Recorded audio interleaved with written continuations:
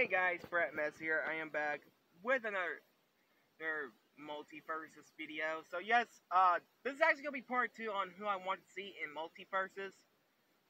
Uh, maybe I'm gonna probably do five, like I did like I did on part one. But uh, yes, uh, who I want to see in MultiVersus part two. Number one, Freddy. Krueger. Now, why Freddy Krueger, you may ask? Well, yes, the character is actually owned by Warner Brothers. I think I'm not for sure anymore. Uh, he was a DLC in Mortal Kombat 9, the one from 2011 that's the title Mortal Kombat 9. Now, what I'm thinking of, he might have like uh, like if his move sets in the game, it's going to probably be similar like assassin, like how Arya from Game of Thrones, Finn from Adventure Time, and uh, Harley Quinn's like classic move is number two, Scorpion from Mortal Kombat. Uh, yes, it is true.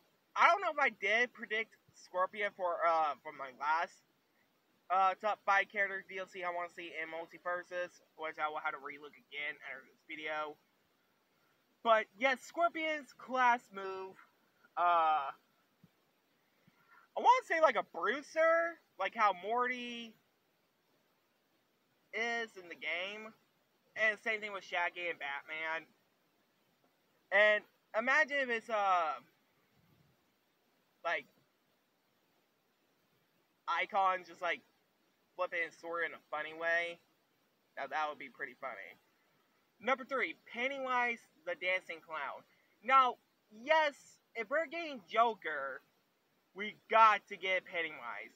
Because there was a rumor that we was originally supposed to get him, in my opinion, which was rumored back in 2018 before Mortal Kombat 11 and was announced, that Pennywise from It was supposed to be in the game, but never even gonna.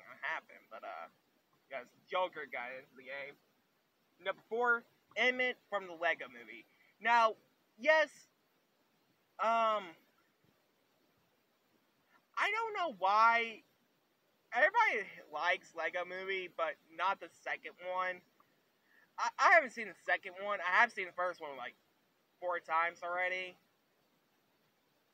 But yeah, uh, I think his moves in the game should be like Steve's moves in Super Smash Brothers maybe like a high flyer or whatever.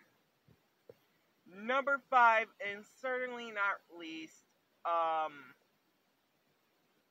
Shazam. Now, yes, Black Adam is in the game.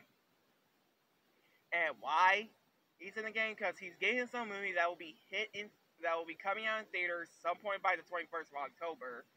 Shazam is also getting his own movie some point by December 16th this year if they're not going to delay the movie.